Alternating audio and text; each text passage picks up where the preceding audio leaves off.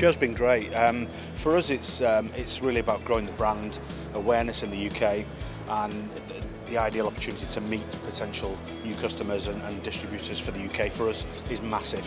It's the importance of getting to speak to the end user that um, as companies we don't always, we, we, we, we tend to be speaking to buyers and people like that. So it's getting the feedback, direct feedback from the end user that's important. Today's been really busy. Um, footfall's been good. Um, we've got a lot of inquiries, a lot of sales, and you know we've had to restock quite a few times throughout the day to keep up with demand, basically. Yeah. So yeah, really happy. It's been a good mixture. There's been a lot of uh, retail buyers, which is who we sell into, but also end users whose feedback is valuable for us when we're developing products and looking for, for new lines. So yeah, no, good mixture of everybody.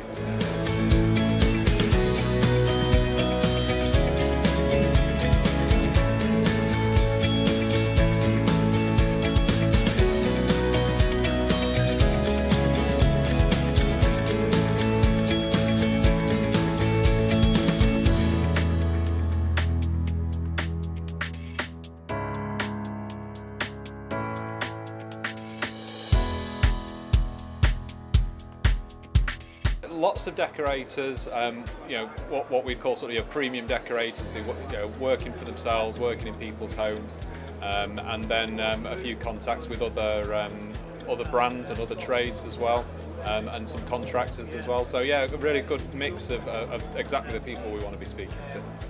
If I was starting up from scratch, I would. This would be the first place to come. Yeah, like I've seen some brands that are very relatively new, and they're here. So, so I think that's the way to. Yeah, sure. You, you you've got to be here to be serious, I think, really, if you're in the, in the paint world. Yeah.